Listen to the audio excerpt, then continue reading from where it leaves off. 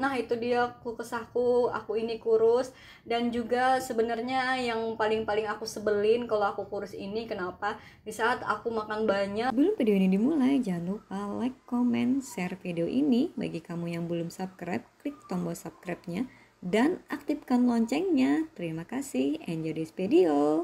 Hai, Assalamualaikum warahmatullahi wabarakatuh. Apa kabar semuanya? Semoga baik semua Dan aku doain semua sehat semua Dan masih di rumah saja. Hari ini aku mau bercerita ya Bercerita tentang apa yang aku alami Dan aku mau menghabiskan 5000 kata-kata dalam satu hari.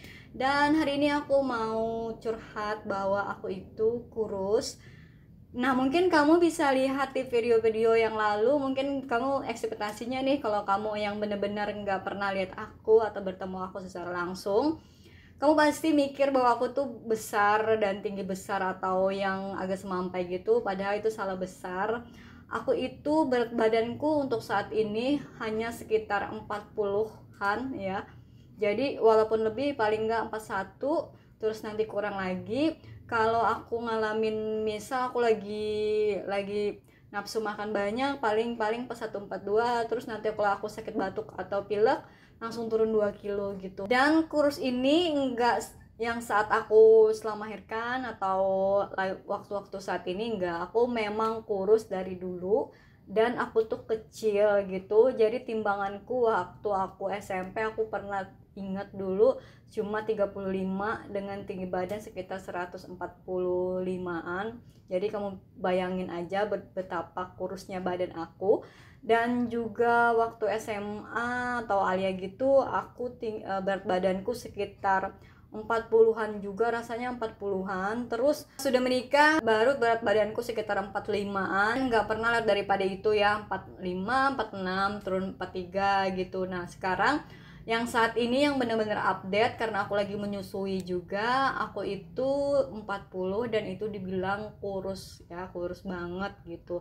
Dan aku itu orangnya yang susah gemuk. Nah di sini kan ada dua kriteria manusia gitu ya.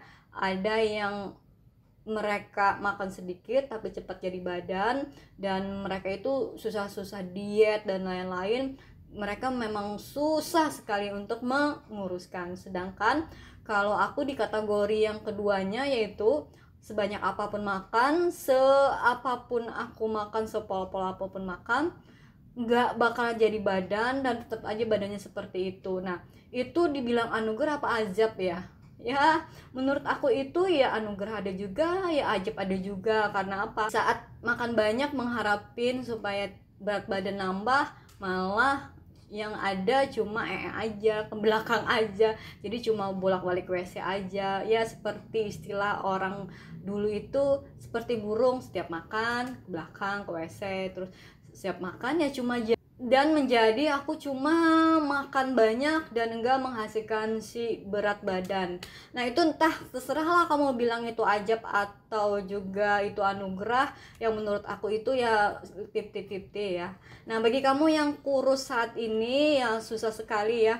Sekarang kan lagi ada nih yang namanya body shaming. Jadi kita nggak boleh yang namanya ngatain kita kurus gitu yang lain-lain yang tentang sekitar tubuh kita dan keadaan kita. Jadi itu lebih sekarang lebih orang mungkin lebih hati-hati untuk menegur.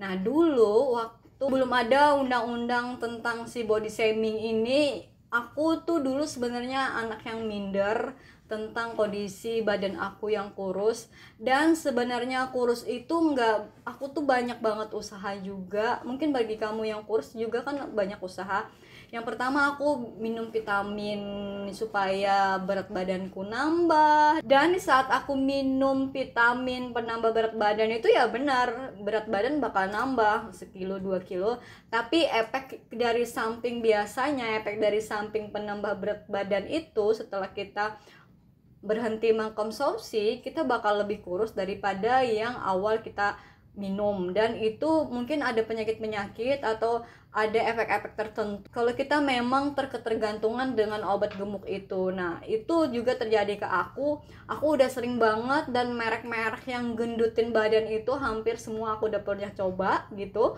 Dan semuanya nggak menghasilkan. Walaupun menghasilkan cuma sebentar aja. Tapi aku biasanya udah berhenti lalu aku kembali lagi kurusnya. Dan juga walaupun aku makan banyak ya biasa banyak sekali yang saran-saran dari orang-orang. Badannya yang besar-besar biasanya bilang ke aku coba diajeng kamu makan malam makan mie atau makan apa gitu malam sebelum kamu tidur biar kamu gendut. Nah itu juga aku lakukan makan malam dan itu mungkin porsinya agak sedikit lebih besar. Yang hasil aku malah susah tidur napas susah saat tidur dan juga itu kan menjadi penyakit. Dan baru aku sadari sekarang bahwa kalau kita makan malam itu nggak bagus banget buat pencernaan kita gitu. Nah bagi kamu yang mungkin nih yang itu mitos atau fakta ya kalau kita makan malam jadi gendut tapi kalau aku nggak berefek juga untuk makan malam karena apa? Karena yang memang nggak ada efeknya yang ada aku cuma susah tidur sesak napas kadang-kadang dan juga pencernaanku nggak terlalu bagus pada saat pagi hari. Nah kurus itu katanya juga dari genetik ya. Kita lihat dari susuri dari keluarga kita. Mungkin dari bapak ayah kita itu atau keluarga kita itu memang postur tubuhnya kurus-kurus gitu. Jadi kalau mau gendut itu nggak bisa. Sedangkan kalau aku itu riwayatnya memang bapakku itu atau ayahku itu tinggi besar ya tinggi besar gitu. Mamaku pun juga tinggi besar. Dan kakak-kakak aku yang dua terus aku juga sekarang punya adik itu semuanya tinggi besar semua. Dan semua pada berisi semua. Jadi kalau aku ngumpul itu dari keluarga semua dari keluarga-keluarga aku ngumpul. Jadi akulah yang paling mungil, yang paling imut dan paling gemesin karena apa? Karena mereka itu tinggi besar semua. Mungkin aku mikir aja nih kenapa ya ini ajab apa anugerah gitu. Karena mereka itu tinggi besar sedangkan aku mungil gini. Nah itu dia aku kesahku, aku ini kurus dan juga sebenarnya yang paling-paling aku sebelin kalau aku kurus ini kenapa? Di saat aku makan banyak, udah minum nutrisi yang sehat, terus juga udah minum vitamin udah pokoknya segala sesuatu sudah dilakuin. Ini udah badannya udah bagus nih ya. Maksudnya kalau aku kan berat badanku nambah 1-2 kilo aku super banget. Tapi kalau aku satu hari pilek aku langsung turun 2 atau 3 kilo. Jadi langsung drastis turun gitu.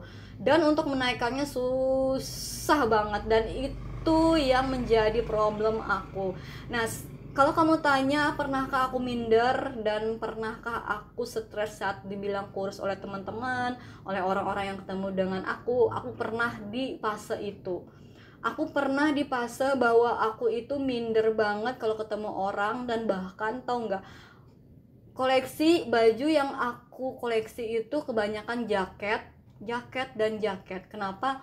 Karena itu menutupi untuk menutupi badanku yang kurus gitu. Karena kalau kalau mau jalan aku harus pakai jaket gitu. Dan juga aku pakai celana yang agak goberan supaya kelihatan gendut. Tapi lagi-lagi orang kurus mana bisa ditutupi dengan itu? Ya tetap aja kurus. Dan mereka biasa orang-orang yang bertemu dengan aku dulu ya dulu sebelum aku pede sekarang ya dulu itu dibilang oh kamu kurusan.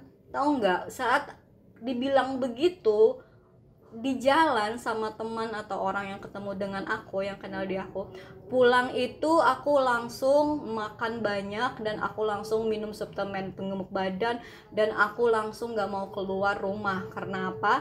Karena aku nggak mau ngeliatin bahwa aku itu kurus gitu. Aku nggak mau nggak mau lagi ditegur aku kurus dan aku bahkan sempat minder waktu itu. Nah lalu aku sekarang udah menemukan kepedean aku karena aku sekarang umur udah 30-an lebih jadi sudah benar-benar di fase aku pede gitu. Nah sekarang aku pede daripada yang dulu dan aku menemukan kepedean itu dari sesuatu kejadian gitu ya.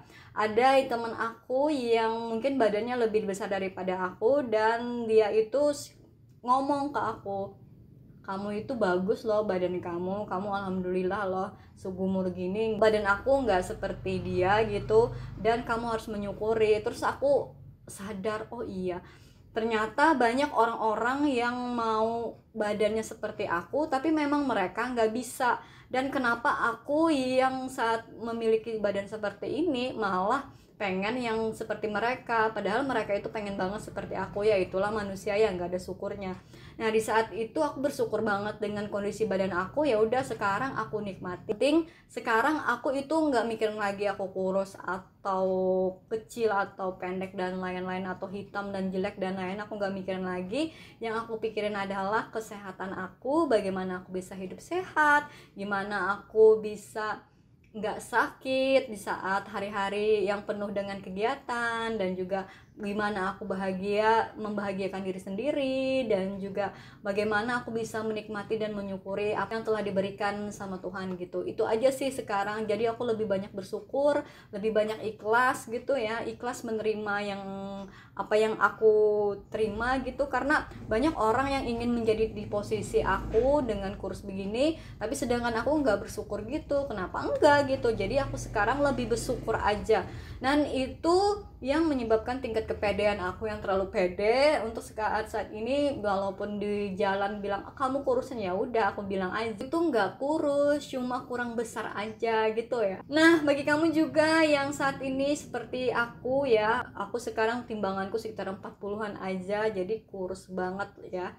Sebenarnya idealnya untuk kondisi badan aku sekitar 45 atau 6, 46 dan karena mungkin saat ini aku lagi menyusui juga jadi untuk membesarkan itu agak sulit susah. Tapi nggak apa-apa lah. Yang penting hidup sehat juga. Yang penting aku sehat nggak sakit. Dan juga Allah masih memberikan kesehatan dan kebahagiaan juga. Kenapa enggak sekarang fokus untuk membahagiakan diri sendiri untuk orang lain. Dan juga bersyukur apa pun yang diberikan. Itu aja sih. Nah bagi kamu juga yang mungkin saat ini dengan kondisi seperti aku ya yang kurus yang makan seberapa banyak apa pun se kuat apa pun kamu berusaha ya tetap badannya gitu-gitu aja kurus-kurus gini nggak gede-gede yang udah nikmatin aja selagi kamu bener-bener ya begitu ya itu yang memangnya sudah jalan hidup kita. Yang penting kamu jangan fokus ke kurusnya kita fokus ke kesehatan kamu kebahagiaan kamu membahagiakan orang lain. Daripada kamu fokus ke yang kurusnya gitu itu bikin membatin sakit hati. Bahkan hal yang paling menyakitkan adalah kita minder dan kadang-kadang kita tuh minder dari pergaulan gitu. Jadi sama teman-teman pun minder. Jadi sekarang fokuslah dengan apa yang bikin kamu bahagia aja itu aja deh. Dengan bahagia mungkin uh, berat badan kita lebih nambah. Walaupun sebenarnya itu di luar dari ekspektasi ya. Karena bahagia pun kadang-kadang orang kurus memang susah untuk gemuk gitu. Nah itu dia cerita aku untuk hari ini. Terima kasih yang sudah menyimak tentang bahwa aku itu kurus. Tapi aku sekarang lebih bisa menyukuri ya nggak apa-apa lah aku kurus. Dan bagi kamu yang kurus juga nggak apa-apa nikmatin aja dan juga semangat karena apa? Kurus itu bukan suatu aib juga bukan suatu dosa juga kan? Ya yang menurut aku disyukurin aja So bagi kamu yang berbadan kurus seperti aku, bagaimana pengalaman kamu? Kamu bisa komen di bawah, kita berbagi cerita. Dan juga bagi kamu jangan lupa untuk kasih like. Bagi kamu juga yang belum subscribe atau berlangganan nih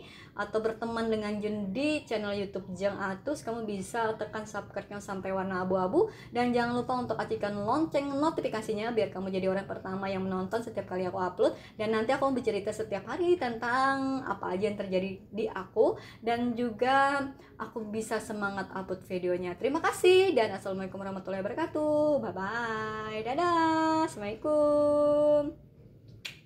Dadah.